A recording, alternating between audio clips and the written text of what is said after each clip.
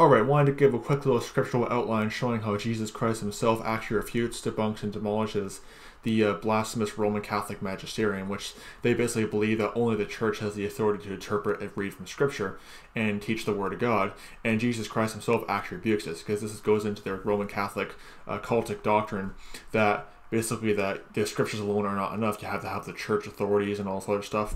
It's how they maintain maintain control over the uh, basically how they controlled Europe during the Dark Ages because they had them thinking that oh I need I need to rely on the Pope and the priest to tell me what the Word of God says. Well, Jesus Christ clearly debunks this cultic uh, false authority that Rome projects upon itself.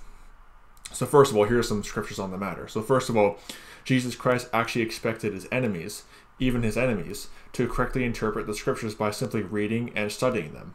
Okay, you can see that in Luke chapter 10, verse 25 down to verse 28.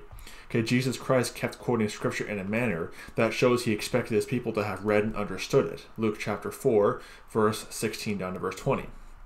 Jesus Christ even instructs the Pharisees to search the scriptures to get their truth. You can see that in John chapter 5, verse 39 to 40. And on multiple occasions, Jesus Christ actually rebukes his own people for not reading and understanding the scriptures. That's in Matthew chapter 21, verse 42 down to verse 45, Matthew 22, verse 29 to 33, uh, Matthew chapter 19, verse 4 to 6, and Matthew chapter 12, verse 3 to 5.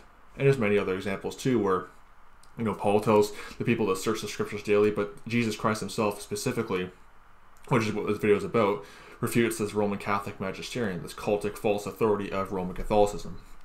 Because Roman Catholicism, like any other cult, will exalt the, the priest will exalt himself. Essentially, uh, like, like you have this guy named Jack Hyles, he summed it up perfectly because he himself was no different than a Catholic priest. You know, their mentality is close your Bibles and just listen, just listen to me. That was a quote from Jack Hyles, uh, which he was pretty much had the same mentality as a Roman Catholic priest. But that's the whole thing. But Jesus Christ actually actually expected and rebuked those uh, for not reading Scripture and expected them to understand it.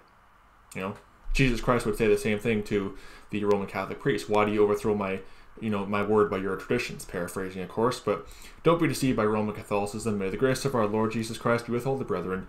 Goodbye.